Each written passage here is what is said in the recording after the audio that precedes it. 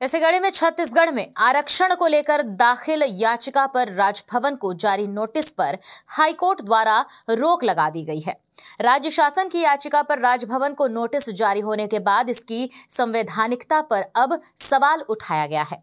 प्रारंभिक सुनवाई के बाद हाईकोर्ट ने अंतरिम तौर पर स्थगन दे दिया है।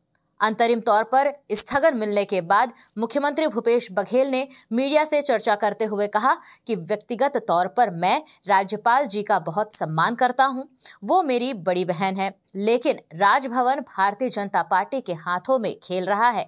हमारे युवाओं के भविष्य से खिलवाड़ हो रहा है। देखिए राज्यपाल जी के व्यक्तिगत रूप से मैं बहुत सम्मान करता हूँ मेरी बड़ा, बड़ी बहन की तरह। लेकिन जहाँ राज्य के लोगों के हित की बात है और ख़ासकर नौजवानों के हित की बात है क्योंकि आरक्षण का लाभ तो इन्हीं वर्ग को मिलना है। चाहे एसटी हो एससी हो ओबीसी हो ईडब्ल्यूएस हो इसको मिलना है। अब इसमें भारतीय जनता पार्टी के हाथों में जो खेल रही राजभवन ये बहुत दुर्भाग्यजनक है। और बात यह है कि यदि विधानसभा जो बिल पारित हो या तो उसे आप लौटा दें या हस्ताक्षर करें या अनंत काल तक रख सकते हैं ये बात ये, इस बात को मैं बार बार मैंने कहा। चौथा काम उसमें नहीं है आपका। तीन ही काम कर सकते हैं उस धारा के तहत। सेक्शन 200 के तहत आर्टिकल 200 के तहत केवल वही है कि या हस्ताक्षर करेंगे वापस विधानसभा वापस करेंगे या अनंत काल तक